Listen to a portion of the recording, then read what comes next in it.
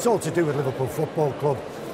I do a lot of ambassadorial work for Liverpool, and now with uh, Barbados Tourism Board coming on board with Liverpool Football Club, we have partners in a variety of of different businesses which come in. You have airlines, different things, and this is uh, Barbados and Liverpool preferred partners, as in a tourism board.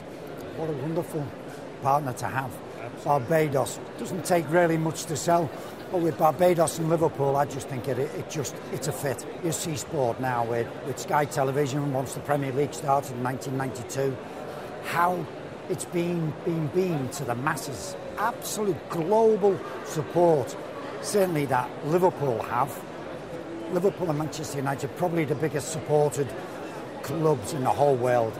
Now, for people to tap into that, it's absolutely wonderful. So you see the tourism board of Barbados, seeing the global appeal that Liverpool have.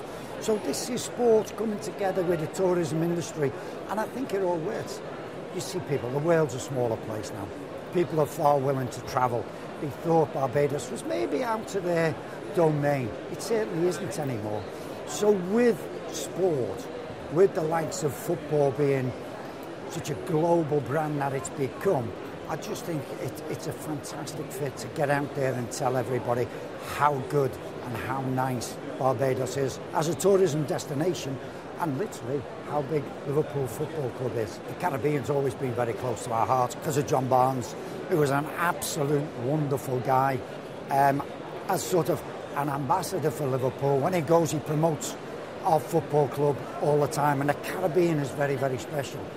And you go out there, I've been out there myself, and, and the draw for Liverpool people, because of John Barnes, when you're out there, everybody talks about Johnny Barnes, Johnny Barnes.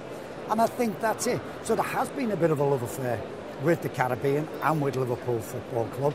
Not just because of John, but because of the global brand that we are and of Premier League football.